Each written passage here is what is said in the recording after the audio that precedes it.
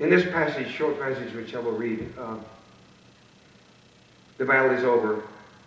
Some of the musicians from the regimental band who are stretcher bearers, they're, they're, they're coming forward to, to try to find their dead. And they come up on the they come up on the on the cotton gin, the, the ditch in front of the cotton gin, the, the works. The, one of the characters is, is a, a musician, uh, but he's uh, he's a music teacher at the Cumberland Academy back home. But when he whenever he gets in a bad situation that he can't face, he all of a sudden becomes his he becomes the Archbishop of Canterbury. now there's a reason for that, you have to read the book. But immediately as he becomes see the regimental band went in behind a lot of the a lot of the regiments right up into the uh, battle, which is quite unusual in the Civil War. The regimental bands following the infantry into the fight. But here they're trying to find the dead. And the musicians together again moved in the dim circle of the lantern.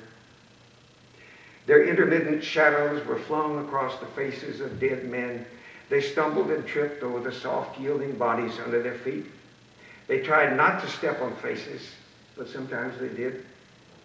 Finally, they came to the ditch along the enemy's works at the cotton gin, and here they stopped. Others were there before them, and others were coming up from behind. With torches and lanterns they came, some of them talking quietly, some laughing even. But at the ditch, they all stopped. And the talking and the laughter stopped. And they stood quietly and wished they had not come at all. They were young men, most of them, but veterans of a long, vicious war. They were strong, dangerous men. Those boys in Nashville were treated all the way back to Mississippi. And when they got back there, starving to death, freezing cold, dysentery, they were still dangerous, individually dangerous. They were still ready to fight. It's just unbearable. They were young men, most of them, but veterans of a long, vicious war. They were strong, dangerous men, cynical about death, even their own, which they had long ago accepted as inevitable. They had seen other battlefields, other helpless dead, and thought that nothing could ever surpass or grieve or frighten them again.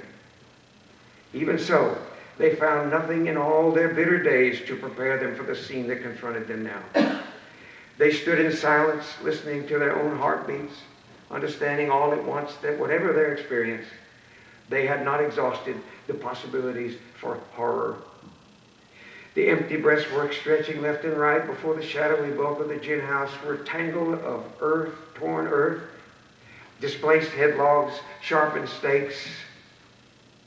They were strewn with equipment, with broken muskets, gun rammers, hand spikes, jackets, overcoats, hats, caps, bits of anonymous cloth and paper, tin cups, sardine tins. The ground was white with cotton lint and cartridge paper, save at the uh, embrasures where the guns had been, and there the earth was scorched and blackened by the muzzle blasts. It was pitch dark behind the breastworks, a frightening dark, as if some unknown and unimaginable enemy lurked there, and the silent gin house loomed against the stars. But there was no enemy. the works belonged only to the dead. And neither the dead nor the victorious living had any use for them now in the starlight and in the torchlight as far as he carried the dead possessed the violated earth. They were draped all over the parapet, festooned in the Osage orange, blown back from the embrasures. In the ditch before the works, they lay in geologic strata of regiments and brigades, piled six and eight and ten deep, an inextricable mass of gray and brown, a tangle of accoutrements and muskets, a blur of faces and claw-like hands. Some were almost naked, torn to shreds by canister and rifle fire, the clothes ripped from their bodies. Others lay whole and peaceful, dreaming among their comrades. Here and there, dead men who'd had no room to fall stood upright in the pile, still holding their rifles, their faces still set toward the memory of a vanished foe. Some of the dead were busy. They twitched and jerked from the violence of their passing. They heaved stubbornly as still living men tried to push up from underneath. the whole pile crawled with movement. There were too many, too many to believe. Jesus Christ, whispered the cornetist. Yes, thought the archbishop. Jesus Christ. The archbishop knelt by the clotted ditch. He knelt as low as he could until his forehead pressed against the earth. He thought he should pray, but the words would not come. And then it occurred to him that perhaps he was not supposed to pray. Yes, he thought. Sometimes I am just supposed to listen.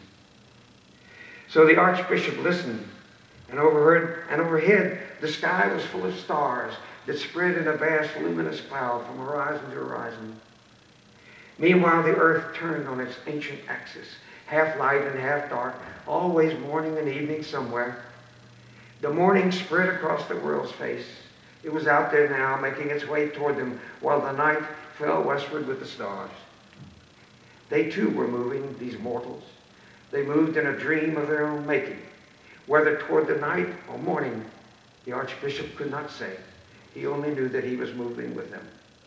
He listened and in a little while, the words came that he needed, and he sent them up toward the infinite dark that lay between the stars.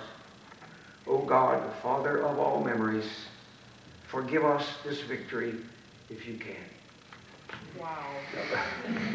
That is a